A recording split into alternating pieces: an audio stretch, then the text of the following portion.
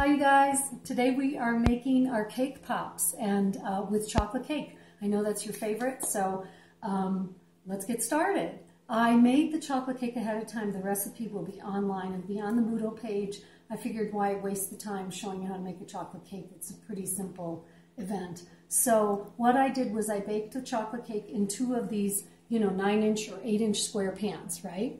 And once your cake is baked and completely cooled, this is what you're going to use for your cake pop. So let's let's begin. Um, I already did it, you know, part of it to show, so I had some prepared for uh, to show you how they turn out. But let's begin with about a quarter. I'm using about a quarter of this cake pan, and believe it or not, this is this much of cake is going to make about a dozen cake pops. That's a lot of cake pops. So the first thing you do is take and you start mashing up the cake. And this cake recipe, uh, I have some alternate, um, you know, al alternate ingredients listed as well. If you don't want to use eggs, there's applesauce. Um, whatever oil you choose to use, you do need the oil. That's really important for the cake to stick together, but you have a choice. It can be butter, it can be vegetable oil, it can be coconut oil, whatever tickles your fancy. Okay, here we go. This is the cake all broken up. That's absolutely perfect. That's all you want. Then you take about a quarter of a cup of, um, I made homemade icing. I will also include that recipe. Uh, you can use uh, the canned stuff. It's not as good, and it has a lot of other ingredients in it that I don't like, but if that's all you have, that's fine. So you're going to use about a quarter cup, and that then you start just mixing it in. This is, this is how you make the uh, base for the pop. And uh, believe it or not, this will all come together.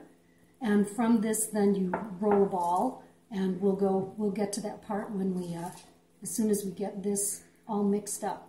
So mix it in. Now, flavor-wise, use whatever you want. This is I use just a vanilla, a vanilla, because um, I didn't want too much going on. But you can do whatever you want. You can make a yellow cake and use strawberry icing. Then, of course, you'll have a strawberry. Um, strawberry flavored cake pop. This one's just a straight up chocolate. So there we go. It's that simple. All mixed up. This is a really good texture. You kind of want it, you want it to be able to hold together. Then you get your handy dandy scoop. And let me say before I scoop all this and get, every, and get it made, make sure you have a tall glass or something that you can put your stick in when you after you've made your pop because you don't want it um, you don't want to have to lay it back down. So right now we're going to take a scoop. I'm going to take a good size scoop of this and I'm going to roll it just like that. And I'm going to take and put my stick in it. I'm using uh, chopsticks because that's what I have. Um, and then you take a little bit of the icing and the, the thing you should do is just kind of put a little bit of the icing around. This is gonna, this is gonna help this stick and that will get covered up by your icing, um, your final icing job. Let me get a towel. I have them around here somewhere. Use this one. So that's going to hold. That's going to hold your pop. All right. That's basically what you do. And at this point, I'm going to do one more for you. And then what you're going to do when you're done with this is you're going to chill it. It has to be chilled before you put the coating on it. So let me put this one in here as well. Give it just a teeny bit of icing, kind of to act like a glue, if that makes sense. Um, a little bit of glue on the edge. And when that hardens, this will be really easy to dip. Okay? So that is how you make the first part of the pop. Now we're going to chill these. And while these are chilling, I have a few already prepared that I just took out of the fridge right here. And I have these lying down. So one of the things you'll notice if you, when they lie down, they might get a little flat. So reshape it. Just give it a little reshaping.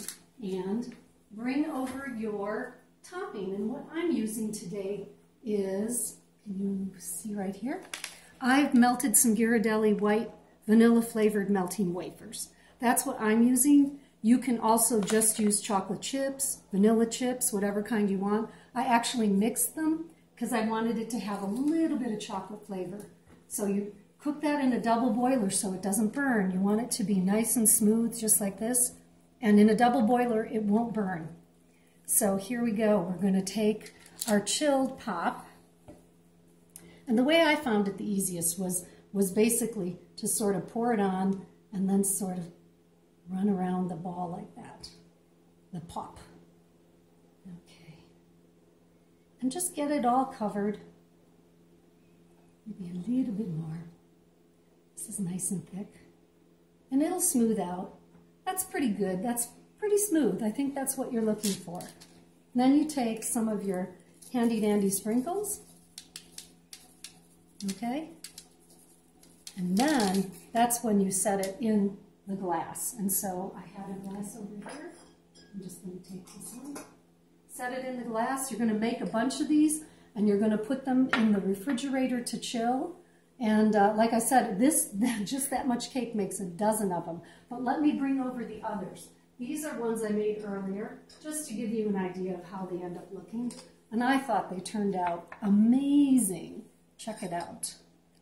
There they go. All different kinds of toppings. They're they're firm to the touch, but when you when you break into them, they're they're nice and cakey and moist. And I'm going to keep them as a treat for later.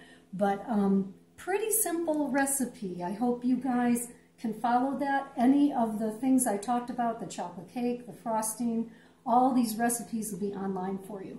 So go ahead and have fun, and we'll see you Thursday.